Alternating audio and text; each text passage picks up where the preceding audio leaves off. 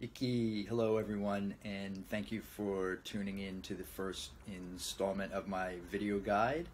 Uh, for those of you who already have uh, the book, you will notice that there's not a lot of photographs in it, uh, and I did that purposely uh, to keep the printing costs down.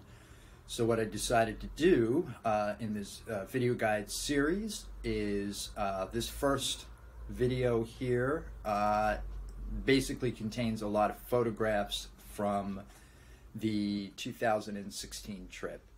Um, I think you find it pretty interesting. It'll be uh, a nice way for those of you that have yet to travel to Tuva to kind of see what it looks like. Um, as you read along in the book, if you uh, follow along with the the other videos that I have in here, there's actual video and not just photographs like this one. Um, again, thank you for watching. If you haven't purchased the book, there is a, uh, a link in the description here.